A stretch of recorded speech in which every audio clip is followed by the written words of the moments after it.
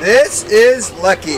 Lucky's ID number is A5268-305. Lucky is a two-year-old American Bulldog mix. Came into the shelter as an owner surrender um, on April 17th, so he's been here.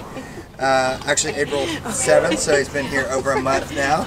Uh, Lucky is a really silly guy, uh, really lovable, Oh, okay. uh, loves to give kisses. He's also kind of a lap dog, as Yeah. you can see here. Oh.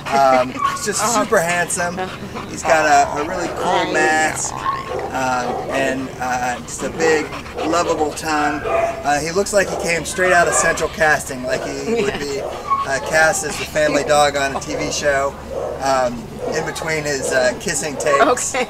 Uh, Okay. we found that Lucky is uh, uh, probably better with bigger dogs. Um, he's interested in little dogs, but he, he might play. Oh, hi. Look at those kisses. Uh, what else do you want to tell us about Lucky? Um, he's got a nice energy level, so I think he would enjoy, you know, some long walks, some good exercise. Um, he does have the squishy face, so you can't let him overheat. But, um, but yeah, he's got a good energy level, and then of course he's going to come home and obviously cuddle with you on the couch. Um, just a really fun, lovable dog. So we- bonded right away, as you can see.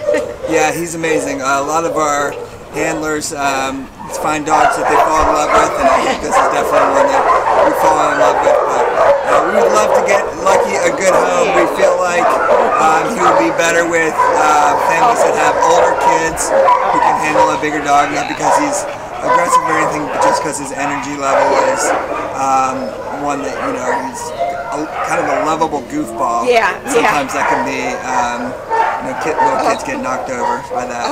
Um, but yeah, he's sweet, adorable, and ready to go home. Yeah. So we'd love for you to meet Lucky, and if you adopt Lucky, then we think that you're going to be the lucky one. Yeah. And uh, again, his ID number is A52-68305, and he is ready to go home. Right, Lucky?